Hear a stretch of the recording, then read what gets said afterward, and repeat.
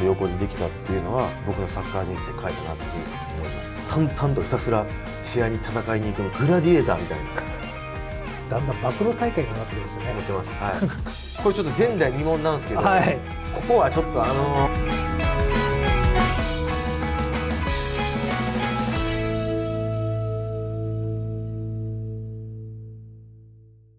今回は元日本代表の安田道弘さんにお越しいただいております。よろしくお願いします。よろしくお願いします。よろしくお願いします。坂大 TV は初出演、初出演です。はい。どうですか？いやもうそれサッカーダイジェストさんには、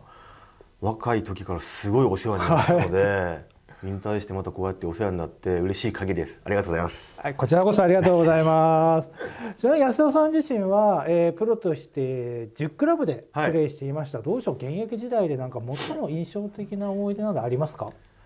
ガンバのアカデミーで、あはい。ガンバジュニアからジュニアエースユースで育ってガンバで5年やって、数々のタイトルもあのそこで取ったのでやっぱはい。りガンバ時代の思い出が強いですね。特に J リーグ初ゴールが、えっとナビスコカップ今のルヴァンカップの決勝ゴールなんですよ、はい。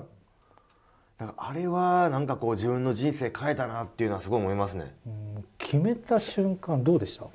普段は絶対あんなに中に入っていかないんですよ。ペナルティーエリアの中にクロスに入っていくとか、でもあのゴールの前になんかマグナアウベスにはい。切れられたんですよ、はいはい。お前もっと中入ってこいみたいな、はで僕その当時なんて19歳とかで、はい。もう周りにそうそうたるメンバーがいて、みんなにビビりながらやってたんで,、はい。でマグノにビ一番ビビってたんで マグノに言われてビビって中入っていったらボールがほんまにこぼれてきてゴール決めれたんですよ。で今までマグナアーベスに褒められたことなんて一回もなかったんですよ、はい。あの試合の後だけマグナアーベスに褒められてなんかすっごい嬉しかったっていうのを覚えてますね。で結果それが初ゴールでヤングプレイヤー賞でしたっけ、あはいはい。とあとニューヒーロー賞か、はい。と MVP 取れたんで、あれはなんかすごい人生変えたなっていうか思い出に残ってますうね、ンバのメンバーもね今回ね入ってるかどうか楽しみなところですが、はい。ベストイレブンなんか選出の基準何か設けましたか？この「坂大 TV はい」のいろいろ見たんですけど、はい。なんか大体こう似た感じでしたみんな、はい。メンバーとか。なんで僕はこう自分が現役やっぱ現役中に J リーグのクラブ8クラブ行ったんで、はい。その中で一緒のチームでプレーした選手っていうのを選出基準にしました。早速ですけれども、えー紹介をしていってもらいたいんですが、はい。まずは、えーゴールキーパーから。はい。はい。ゴールキーパーはこれここでいいですか？いいです。はい。お奈良崎選手。奈良崎選手です。なんかいろんなキーパーと一緒にしたんですけど、はい。これなんか全部できる？もコーチングシュートストップ足元の技術。で何より一番なんか僕キーパーで大事な要素っていうかは安心感なんですよ。うはい。で奈良さんが後ろにいるとすごい安心感があってまあ少々ディフェンスが崩されても最後奈良さんいたらなんとかなるっていう思わせてくれるキーパーで特にすごいと思ったのは例えば僕が攻撃側でシュートってあこれは入ったなっていうシュートでも奈良さんも飛ばずに最初からそこにいるみたいな。ああなるほど。だからすごいこう周りの選手を信頼してくれるキーパーででこうオフ・ザ・ピッチではすごい優しくて、僕みたいなあの若造にいじられてもはいニコニコしてて、はいオンとオフのギャップとか、まあ、全てトータルなんか一番いい人間性を持った一番のキーパーやなというふうに思いますね。こうディフェンダーをねうまく動かすところって本当に重要ですよね。そうですね、それってやっぱりその安心感があって信頼できるキーパーの指示じゃないと、やっぱりディフェンス側って効かないんで、当時の名古屋で言ってたね、まあ、トゥーさんとかいて、はい。結構ややこしいですよメンバー。アレさんとかハヤ君とかややこしいメンバーいて増川さんとか。そのメンバーを言うこと聞かせてたっていうのは、やっぱり相当な実力というか人望があるというか、そういうのがあるんじゃないかなっていうふうに思いますね。じゃあ続いて、えーちょっとね、もうちょっとはい顎で出る写真があれば、もっと良かったですけど。はい。写真でもいじるんですね。はい、そうです。はい。えー次ディフェンダーなんですけれども、はいえー一応安田さんはねフォーバックでまずねセンターバックの2人を、えーはい紹介してもらいたいまず1人目センターバックわかりました。じゃあ、はいセンターバックは、えっと、先ほど名前が挙がった、はいはい、田中マルクス・トゥーリオ選手はい。です。トゥーさんです。トゥーさん。やっぱりこう存在感がすごい。でこう誰に対しても厳しく言えるしでやっぱりこうディフェンスであんな技術高い選手っていないと思います、はい、ポゼッションとかボール回しとか攻撃の選手よりもうまいし、うん、シュート練習させても攻撃の選手よりうまいしヘディングもめちゃくちゃ強いし、うん、一番ピークの時のトゥーさんってブラジル代表も入れたんちゃうかなっていうぐらいでなんか俺も結構やんちゃやったんでトゥーさんにふわって言われてめちゃくちゃ言い返したりしましたけど、なんかグラウンドの外に行ったらすごい優しかったりとか、うん、うん、なんかちょっとボケてるとこあったりとか、はい、なかなかこう今の日本サッカー界にはいないような強烈なキャラクターを持ったセンターバックなんでこういう選手がチームに1人いるとこうなんかチームがこう活気づいてうまくいくというか、うん、なんかこう相手が対戦する時に後ろにトゥーさんいるだけでちょっと相手がこうビビっちゃうみたいなそういうのを思わせるセンターバックだと思います。はい、圧巻です。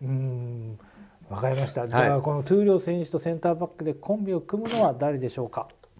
コンビを組むのは、えー、山口聡さんです。湘南の監督ですね、ベルマーレの。はい。僕ガンバで左サイドバックで試合で出して、もう本当にもう突貫小僧でしたよ。はい。もう上がってクロス上げて、うん、もうまだ、ま、戻ってこへんのかみたいな。攻撃いってるみたいな。でなんかそういうのをサトシさんが横にいたから、安心して上がれた、はい、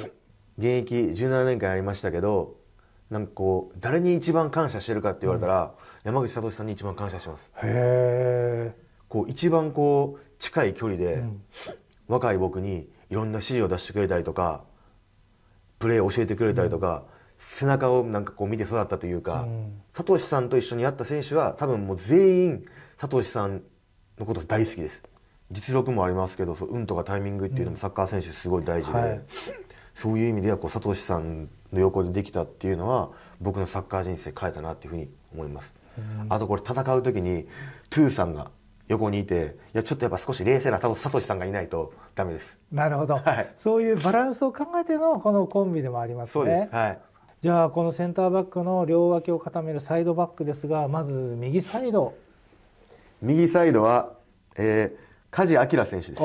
ガンバ勢が2人目になりましたね、はい、クールな顔してます、はい、でもあのすっごいふざけた男で オフ・ザ・ピッチでは一生いらんことしてるというか、はい、しょうもないボケを言ってふざけたこと言っているキャラクター。その辺のこの愛くるしさ、はい、でもこうグラウンドに立つと絶対的な安心感。特に僕はガンバの時に逆サイド左サイドバックやってて、はい、さっきも言ったようにずっと攻撃って上がってやってたんで、それをバランス取ってたくれてた男がこの梶明選手です。逆サイドに梶さんがいたから、あれだけ前にどんどん行けた。っていうふうに思うし、で実際ガンバの時は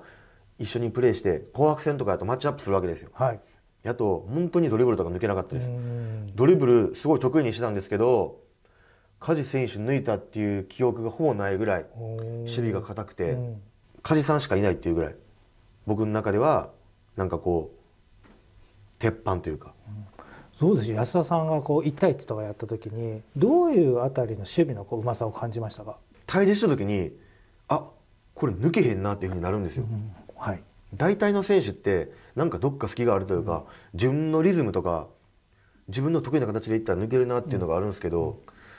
梶さんだけはそれなかったですね。だから1対1とかしてて一番嫌な選手でした。じゃあ左サイドバックは？左サイドバックはなかなかみんな選ばないと思います。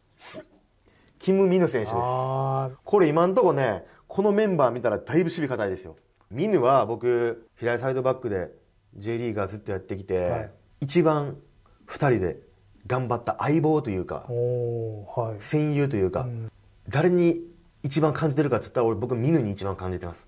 だから、えー、っと日本と韓国で離れてますけど今でも頻繁に連絡を取るしなんか本当に可愛いやつって感じですね。見ぬと俺の間にはもう国境を越えた友情があります。鳥栖にいた頃も結構周りからすごい好かれてる印象ありましたよねそうです。チームメイトに、うん、なんかやっぱりこう海外から来て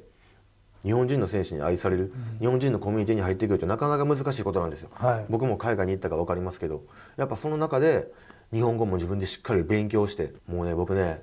見るのね鳥栖を対談する時のねあのグラウンドでの挨拶見たらほんま泣きそうになるぐらい、なんかこいつの人の良さが出てるというか、これはぜひもう皆さんどっかに映像あると思うんで見てください、感動します。でやっぱりプレーも一級品です。ディフェンスも強いしフィジカルもあってで攻撃にもいけるパワフルなドリブル。本当にこうなんかどの監督でも多分使うんやろうなっていう選手ですね。左サイドバック安田さん入れなかった僕は入れないです、はい、僕はもうあの18人目ぐらいで、大丈夫です。大丈夫ですか、うん、両サイドバックのバックアッパーぐらいの感じで、はい、あとはもうチームをうまく盛り上げるみたいなキャラでいいです。なるほど。中盤なんですがここもね安田さん4枚選んでくれてるんですが、はい、ダブルボランチ。あ、はい、置いて、はい。えー、左右あって感じですね。じゃあフラットな形でいく。じゃあまずは明神選手。あ明神選手。はい。一番いい時期を過ごしたガンバで、うん、本当にな黒子的な役割、はい、まあねトルシエ監督もね言ってましたよね、うん、まあ明神がいたら勝てるみたいなね、はい、名言もあるぐらいこうあんまり目立ちはしないですけど、うん、本当に気が利く選手であの当時はその気が利きすぎて逆に目立ってました。なるほど。もう試合終わったら本当に疲弊しきった顔ででもご飯もりもり食べて、はい、もう淡々とひたすら試合に戦いに行くみたいな、はい、グラディエーターみたいな。試合後じゃ明神選手はそんな感じでその横で梶選手が冗談言ったりしてるこのロッカールームどんな感じなんですか？わちゃわちゃでめちゃくちゃでしたねそういうバランスもすごい取れてましたね。で僕ミョンさん選んだ理由として、はい、現役中に一番ご飯ごちそうしてもらってます。当時のガンバって本当にみんな仲良くてそれこそ週2で絶対試合があったんですよ、はい、まあ ACL、うん、ナビスコ天皇杯 J リーグってすごい試合数が多くて、はい、家族よりもメンバーと過ごす時間が長いぐらいの感じでで本当仲良くて月に1回絶対チームメイトの誰かの誕生日会してたんですよ、はい、心斎橋アメリカ村で、はい、ね、その時にいつも払ってくれてました。もちろん他の先輩も払ってくれてましたよ、うん、でも一番最後明さんが全部払って若いやつ全員にタクシー代1万ずつ渡していくみたいな、はあ、すごいもう豪傑のエピソードじゃないですか。で僕なんてタクシー代もらう時にもう3回ぐらい並び直して「明さんありがとうございます」って。ガンバでも一緒にやって名古屋でも一緒にやってるんですよ、はい。うん、そっからチーム別々になって明さんがえっと、長野パルセールに行った時も、はいはい、僕わざわざ長野県、ま、長野県の長野市まで会いに行って、ご飯食べに行くぐらい本当お世話になってます。その時ももう妙さんがいるからっていうことでもう焼肉食いまくりました。っていうぐらいもうお世話になった大先輩なんで。やっぱ外せないですね。外せないですね。はい。じゃあこの明神選手とボランチを組むのは誰でしょうか？ちょっとねだいぶこう色が強くなっちゃうんですけど、はい、ここはもう俺的にはもうこの人しかおらへん、うん、はい。遠藤康人選手はい、J リーグ MVP 取ってるタイトルも数々手にしてる語る必要ないです実績は。はい。そんな遠藤選手についてじゃあ一応選出理由は？当時のガンバで僕だけずば抜けて若くて試合出てたんですよ、はい、でも本当に周りがすごい選手、うん、これ見たら分かると思うんですけど、はい、全員代表クラスですよ、うん、でその中でも本当に全員に僕切れられ切れられてたんですよ「しっかりみたいな。本当にマジで、はい、で切れられるのが嫌でなんとかっていうその反骨心で成長したみたいなもんなんで、うんはい、でももうやっとさんだけはいっつも俺に優しかったです、えー、心のよりどころというかまあ性格もみんなわかると思いますけど、はい、すごい優しい性格、で僕当時西野さんに言われてたのはボール持ったらまずやっとに預けろって言われてたんで、はい、でお前前に走っていけって言われてたんでどんだけ強いパスとか浮いたパス出してもしっかりもう簡単にコントロールして、うん、本当もう何でもできる。で練習とかでも本当こうふわふわした感じでやってますけど、うん、本当にボール取られへんし、うん、今までやってた中でこんなにうまい選手いなかったんちゃうかなっていう。うん。なんか自分が上手くなってるみたいな感覚をなんかこう与えてくれる選手でもあったんじゃないですか？いやそうですね。だから僕ガンバにいた時に言われてたのはガンバに今いてプレーしてたら次のチーム行ったら大変やぞって言われてたんですよ。あなるほど。その当時は当たり前やってましたけど例えば違うチームに行った時にすごいクロス上げにくいボールが来たりとか、はい、ちゃんと僕にはボール来てるけどそのボールがすごい上げにくいボールの回転であったりとか、ちょっとしたコース、でもガンバの時は本当それがなくて、ノンストレスでできたんですよ。だから他のチーム行って初めて遠藤選手の凄さを改めて気づいたというかすごいの知ってましたけど。家もすごい近くに住んでて、はい、はい、それこそ家族ぐるみの付き合いさせてもらってプールに行くと、やっぱやっとさん出てきたらみんな気づくじゃないですか、うん。はい、やっとさんはこう木陰で休んでる。やっとさんの子供を俺がプールで全力で遊ぶみたいな。役割もしてました。なるほど。まあその黄金時代のガンバをある意味陰で支えてたのってもう安田さんじゃないですか。そういやそうなんですそうなんですやっと気づいてました。今 いろんな人のエピソード聞くとあれ？あれ実は中心にいるのはやっと気づいてくれました、ね、はい。すいません。気づくの遅かったですね。大きい声で言ってください、はい、さてじゃあこの中盤の両サイドまず右いやじゃあ右は、はい、もうこれももうガンバですはい橋本秀夫選手ですガンバユースの直属の先輩、はい、で僕ジュニアユースとかユースの時にホーム戦は必ず見に行くわけですよ、はい、その時に橋本選手ずっと出てて、はい、なんで橋さん出てるんやろうと思ってたんですよ、はいはいはい、なんかこう何の特徴もない、って思ってたんですよ、はい、でも僕こう J リーガーになって1年目とか一番衝撃を受けたのって橋本選手で一緒にやったらすごい分かるんですよ、はい、めちゃくちゃうまいんですよ。全てのポジションでもうすごいハイクオリティなパフォーマンスができる選手なんでチームに1人いると多分すごい助かるっていう選手の1人ですね。右もできるし左もできるし、うん、後ろも前もできるっていう選手でで当時僕ガンバで一番何か言われてムカついてるのは橋さんなんですよ、はい、なんかこうやっぱ頭いいんで、すごいこう理論詰めしてくるんですよ、はい、でなんかこう僕が言い返せ言い方で言ってくるんで、うん、俺いつもお金ながらこいつうざと思ってた でもやっぱりそういう気持ちになるってことは図星言われてるってことなんで。なるほど、うん、だからさっきも言いましたけど橋さんにこう言われるのが嫌でなんかこう言われへんようにプレーしてるみたいなとこありましたね、はい、でもなんかこうね僕もある程度キャリア積んで会うとなんかある程度こう僕のこと認めてくれたりするんですごい優しい先輩でこれからもお世話になりたいなっていうふうに。だんだん暴露大会にもなってきましたね。思ってます。はい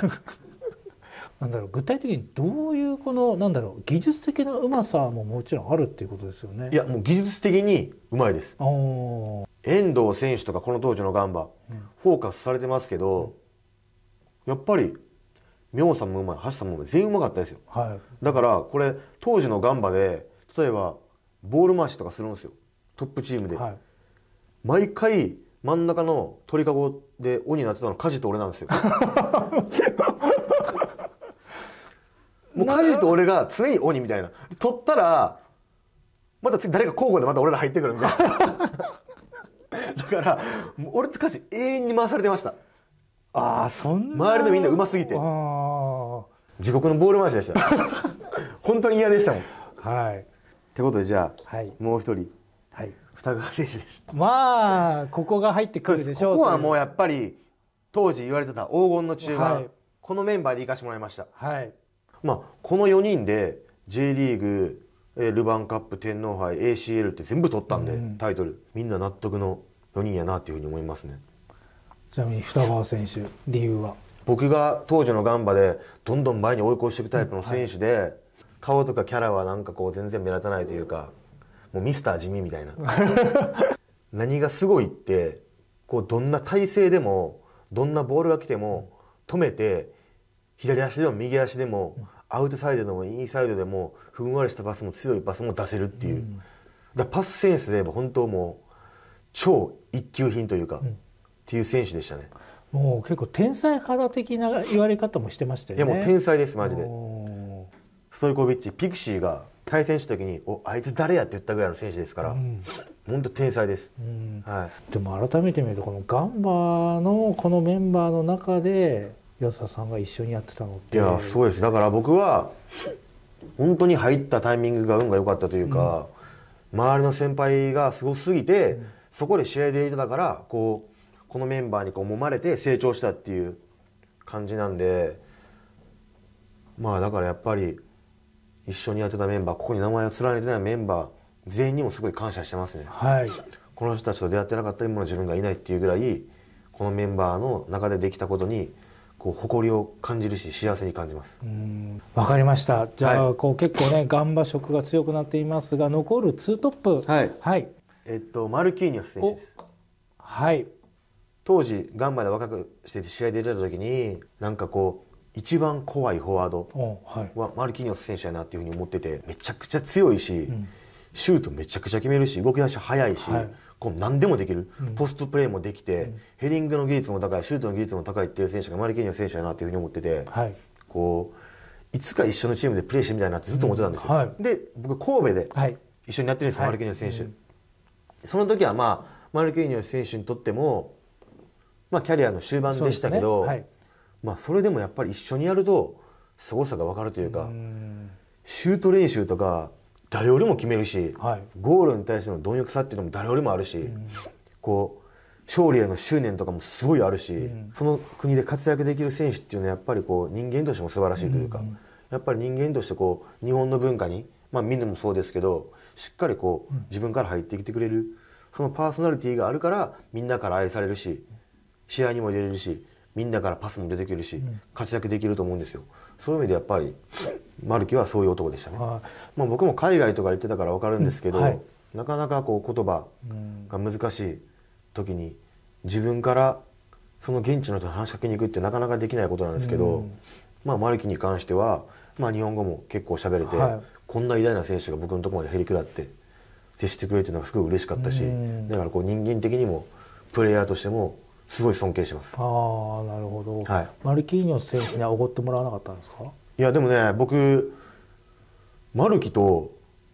2人でご飯とか行ったことありますよ。へえ神戸で。それでもでもどんな会話するんですか？いやもう普通に、うん、今考えたら普通に楽しい時間を過ごしたというか。ああなるほど。はい。どっちが最後お支払いするいやそれはもちろんマルキーです マルキーニョスって財布出さないです。このメンバーと行って財布持っていくの見ぬぐらいですね。あなるほど。年下だ見ぬだけなんで。はい、はい、他の人がやるときは持っていかないです。財布。置いていきます家に。タクシー代ももらいます。わかりました。じゃあこのもう豪華なベストイレブン最後にこう名を連ねるのは？これは佐藤久さんです。はい。久藤さん。はい。もちろん久さんが広島でね J リーグで優勝して MVP 取ってテントだった時も知ってるけど、まあ、ジェフで一緒にやったんですよ。それこそ最後キャリアの本当最後のチームがジェフで、はい。うん、その時に一緒にやってるんですけどあの時でさえこんな動き出し選手いるんかというぐらい衝撃受けました。なんかこう僕の中でこういいフォワードの条件って合わせれへんかったらこっちが申し訳なくなる気持ちにさせてくれるんですよ、久さんが一番そうさ思わせてくれる選手でした、うん、例えばこうトラップして顔を上げた瞬間このタイミングでパス出したらもう絶対点取ってくれるっていう。でもそこに合わせる技術がなかったら出せないんですよ、だからこう久里さんがフォワードいると周りの選手が多分勝手に成長すると思います。ああなるほど。キャリア重ねて、はい、自分の中ですごいこう誇らしく思っていることっていうのは久里さんの J リーガーとしてプロのキャリアの一番最後のゴールアシストしたの僕なんですよ、はい、でそれは僕なんかこう一生自慢できるなというふうに思ってます。もう安田さんがベストというよりも愛している11人って感じですね。いやそうですね。本当にこう人間的にもこう好きな11人というか。でもなんかこのメンバー見たら結構めちゃくちゃ強そうですけどね。このベストイレブンを率いる監督を選ぶとしたら。これねちょっとね監督だけは僕選べなかったんですよ。ああ一人に絞り込めなかったということですかね。これちょっと前代未聞なんですけど、はい、ここはちょっとあの総監督助監督という。ああわかりました。2人ではい。はい。じゃあまず総監督は？総監督はやっぱりこれはもう西野監督です。ああ西野さん。はい。まあこれはねもうみんなこう西野さんのキャリアも言わなくても分かるぐらい、はいうん、まあでも僕ガンバでユースから上がってもともと僕って前目の選手だったんですよ。みんな知らないかもしれないですけど、はい、こういうとことかこういうとことかこういうとことかの選手だったんですけど僕を左サイドバックにコンバートしてくれたのは西野監督なんですよ。はい、でまあその当時ガンバにそうそうたるメンバーがいていやまあ頑張ってるのは分かるけどその今このメンバーいたら正直試合に出るのは難しいみたいな、この他のメンバーが良すぎるから、そうなった時にチャンスがあるとしたら左サイドバックやぞどうするって言われて、はい、まあ即答で左サイドバックするって言ったんですけどそうやってコンバートしてくれたのが西野さんなんで、多分僕左サイドバックしてなかったらまあ、これだけ長くサッカー選手のキャリアも積めなかったと思うし、いろんないい景色を見れなかったと思うんでそこにコンバートしてくれたっていう部分ではやっぱりこうサッカー人生を変えた監督というか、うんうんうん、のはもう西野さんで間違いないです。なるほど。じゃあ助監督は？これ助監督はこれはもうねユン・ジョンハン。いや強烈な2人ですね、はい、はい、やっぱりねあのすっごい癖強いんでユンさんは、はい、僕はもうユンさんとは本当に監督と選手という間柄でしたけどもうミネもそうですけど、はい、ユンさんとはもう本当にもう国境を越える絆があります。これはもう俺は自負してます。はい、はい、多分こうユンさんの息子といえばってなったら多分もう J リーグやってる選手は俺の名前挙げるぐらい ユンさんとの関係はもう100点です。はい、どういうところがすごかったですか？確かに性格的にはこう難しいというか、うん、っていうのはあるんですけどまあその殻を破って懐に入っていくと、うん、こうすごい愛情を持って接してくれるというか、うん、こっち側がユンさんに対して愛情を持つとユンさんもそれの倍ぐらいの愛情で返してくれるっていう僕ヨーロッパから帰ってきてジビロに行って J リーグで降格してジビロ。でこっからキャリアどうしようかっていう時にユンさんから電話かかってきて、うん、まあ給料はそれこそ大幅に下がるけど俺のもとで一回やってくれと。俺が絶対お前もう一回再生させてあげるからっていう、まあ今やから言えますけど他のチームからとかもオファーあってトスだけ給料ダントツで低かったんですよ、はい、それこそ一番上とトスで比べたらもう1500万とか2000万ぐらい、トスの方が給料低かったんですよ、はい、でもやっぱりユンさんの熱い話聞いて、うん、僕はその中でも当時一番給料安かったですけどトス選択したんですよ、はい、で結果僕トスで、まあ、ミンとかもいて、うん、まあ、すごいもう一回活躍できて日本代表とかに呼ばれたんで、うん、まあ、あの時ユンさんと出会ってなかったらまあもしかしたらあそこでキャリア終わってたかもしれないですし、っていうふうに思うとユンさんとの出会いはこうすごい大きくてこう僕のキャラクターとか僕のプレーとかも多分一番分かってくれてる監督って言ったら僕はもうユン・ジョンファンで間違いないと思います、だからもう本当に感謝します。ありがとうございます。皆さんありがとうございます。今度韓国会いに行きます はい、監督2人という結構いびつな形になりましたけど、はい、最強ベストイレブンと、まあ、監督ですね。はい。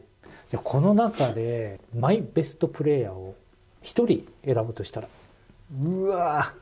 全員もん全員マイベストプレーヤーですよ、はい、この他にも選べなかった泣く泣く選べなかった選手もいます。でも本当にマイベストプレーヤーはもうダントツです。あ。遠藤選手です。はい。でやっぱ日本代表でねもう 100, 100試合以上、はい、これって多分相当すごいですよ。そうですよね。だってまあ長友選手もすごいですけど年間でだって日本代表の試合何試合あるんやっていう公式戦も600試合以上出てます、はい、こんな選手聞いたことないですよ、うん、今だから僕の9つ上なんでもうだから43歳とか4歳、うん、でも今でも一戦でやって試合も出てる。怪我も少なくないといけない、うん、これはもうすごい一言ですね。あそうですよね、はい。どうでしょう、えー、最後にそんな遠藤選手もまだ活躍しているあの J リーグですが今後のこう J リーグに期待することはありますか？なんか最近のこう J リーグの選手確かにこうみんな実力も上がってきてると思いますけどそのプレイヤーとしては別にこうキャラクターとしても花のある選手っていうのがなんかもっと出てきてほしいなっていうふうに思いますね。もうトゥーさんなんてもう典型じゃないですか。あ確かに、うん、うんこんな強烈な選手いないですよでもやっぱりこれぐらい強力なパーソナリティとかキャラがある選手はやっぱりこう見ていてすごいワクワクするしこの選手を見に行きたいって思わすような選手がなんかいろいろ出てきてほしいなっていうふうに思いますね。どうにか安田さんの力でこの11人集めてどこかのチームと試合したらお客さん集まるんじゃないですか？いやしたいですね。まあ多分二川選手は絶対来ないです。はい。トゥーさんブラジルにいます、はい、来ないです。YouTube チャンネルよろしくお願いします、はい、間違いなく来ますね。まずは、はい、間違いなく来ます。来ます。はい。来ます。マルギも渡航費さえ払えばやっとさんは来ない来おへんかな。ミヌも来てくれます俺がやったら。奈良さんは分かんないです。聞いてみましょう。はい。西野さんはあんま体無理しないでください。はい。っていう感じですかね。はい。またねなんかいろんなエピソードも聞きたいんで、はい。坂大 TV にぜひ来てください。い、いと思